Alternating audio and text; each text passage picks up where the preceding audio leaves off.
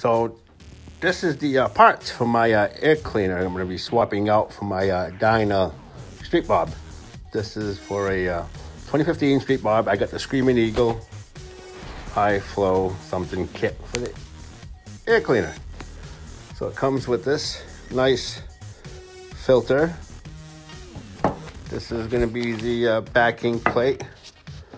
This is the filter cover. That looks really nice. That goes, they get screwed onto there.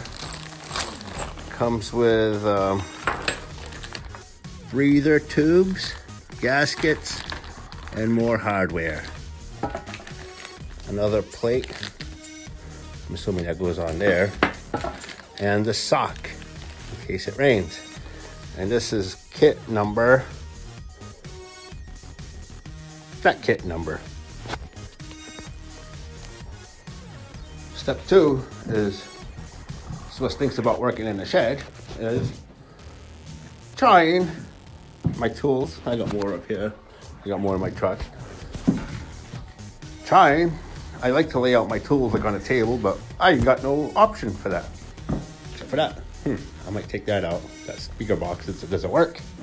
Throw it out, hopefully. I don't know how. It's, can't throw things out in the city anymore. Uh, and use that old heater as a table. Hmm. That might work.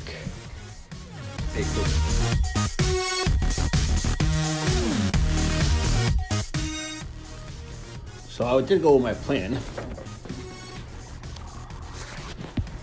There's the old one. It's coming out. Still got the plates, and I'm sure there's a gasket back there. Got my tools all lined up over here. And I got the new one all set up over here. I'm gonna stop putting that space over there for the old one. That came in really handy. This is my old shop from high school, Marine Industries. We rocked back then. That was wicked, wicked cool shop back then. A cool shop back then. We had the best shop in the school. So yeah, it's getting there. We'll see how it goes.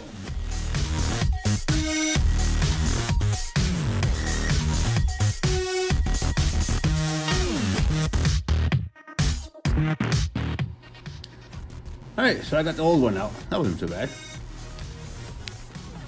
Got it all out, got the gasket off, it's all nice and clean.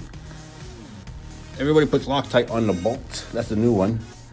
I was like, ah, I'll try it in there. I'll put the Loctite right inside the threads instead. That's my throttle body. We're making progress here. The hardest part so far was taking out the original cover. For some reason that thing was on there tight. All right, so here's a quick little update. Trying to hold that washer behind this, the gasket, in here perfectly. While installing that, I noticed that the washer kept moving. So I took the original bolts and put it in there just to hold that washer in place because the new ones have a thread locker already in it. And I didn't want to put that on there just yet. It's gonna go on, but not just yet. So I'm gonna lock that up, get the plates on there, and we'll see how it looks. So, me being me, not reading instructions, right? I'm just going over my pots real quick, and I noticed these two little washers here. Yeah, so I was like, huh, that's odd. Where do those washers go to? After reading the instructions, I had to pull these little tabs off already, the little breather, the oil breather. They go on the back side of that. Yeah, I gotta take it all apart again. So, read the instructions. I am by far not a certified mechanic. This is just for entertainment purposes. all right, we are on a roll here. I got it all mounted up. Oh, I always add black Loctite to it, even though it did come with some kind of yellow stuff in there. But this plate here, you gotta make sure that this notch is facing up. And, oh, it's hot. It's gonna be hot to see.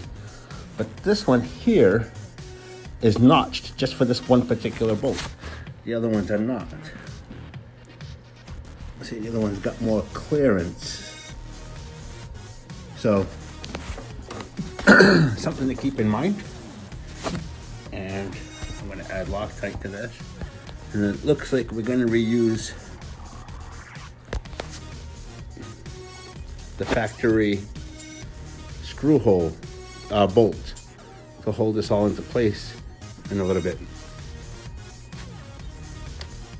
So don't throw it out. So everything's going good. Let me show you the progress that I got going on here. I mean, this is only an air filter. Yeah, it should be a nice, quick, easy install, right? Right, filter looks looking good. Missing a screw, right? It fell. And it just disappeared. Absolutely disappeared.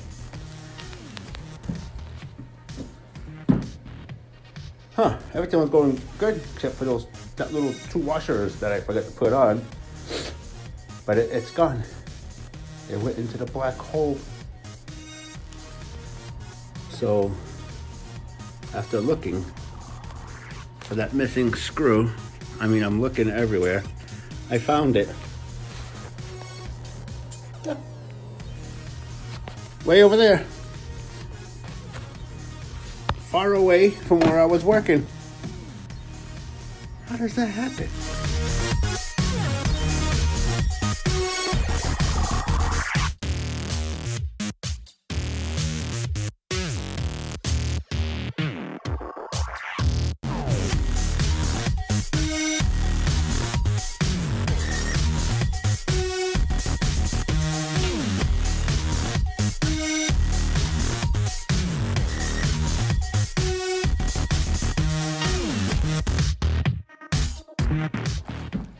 All right, so that wasn't too bad. I found that screw. That was the hardest part. So that didn't come out too bad. I like the way it looks. Sorry about all the moving around. And it doesn't stick out too far. I don't think it's gonna interfere with the pedals at all. Let me get on this thing.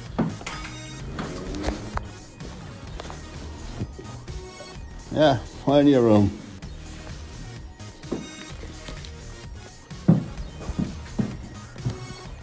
So I'm pretty happy. We'll see how it performs. I was told put a uh, K&N air filter in there. Hmm. And this is the uh, sock. So I can do this in one hand in case it rains. So here's the finished product.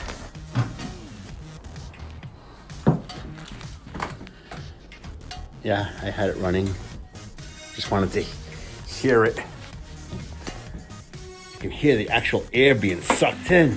Check it out. Maybe you'll hear it, maybe not.